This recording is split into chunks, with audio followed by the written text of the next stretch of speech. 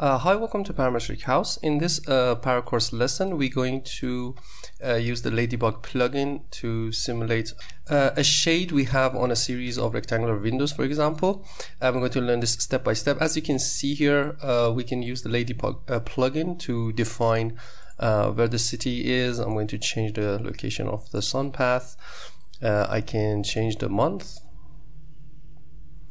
the days, uh, the hours, uh, the minute, and uh, there's also a scale which we can make this uh, bigger or smaller. We're going to analyze the projection of these shades on the windows.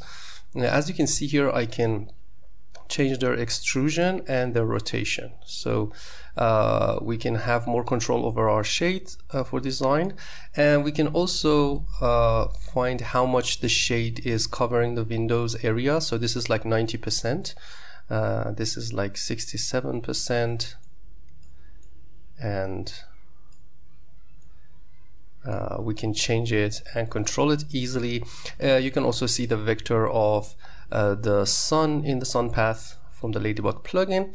Uh, let's get started from scratch and learn this step by step.